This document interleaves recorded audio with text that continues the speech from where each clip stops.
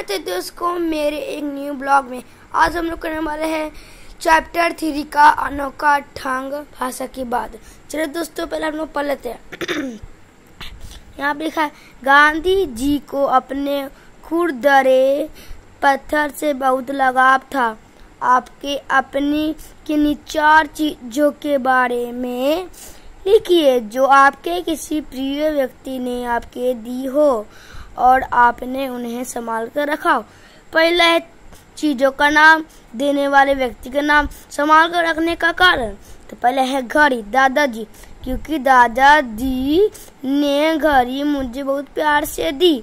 Cycle, पापा, क्योंकि मुझे क्योंकि मुझे साइकिल चलाना का शौक है।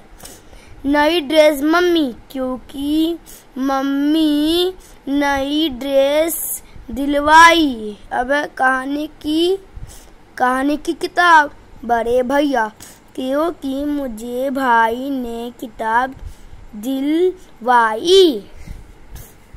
देखिए दोस्तों, अब हम लोग का भाषा के बाद दिए गए शब्दों के अनेक अनेक नाम चुनकर लिखिया स्कूल, विद्यालय पाठशाला, वन अरने कानन पिता, बापू, जनक, रात, निशा, रजनी।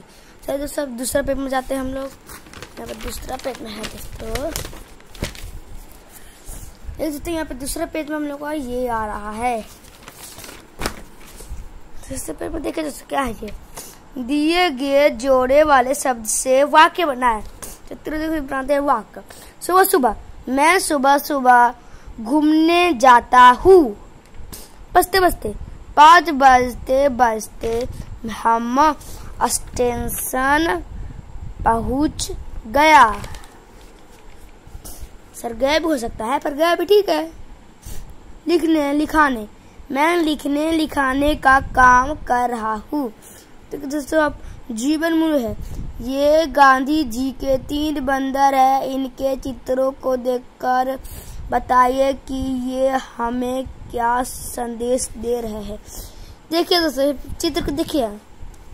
कभी भी बुरा मत देखो। कभी भी बुरा ना सुनो। कभी बुरा ना बोलो। कभी बुरा मत बोलो। सर दोस्तों, मिलते अगले न्यू ब्लॉग वीडियोज़ में। बाय बाय दोस्तों लाइक एंड सब्सक्राइब करना मत भूलिएगा।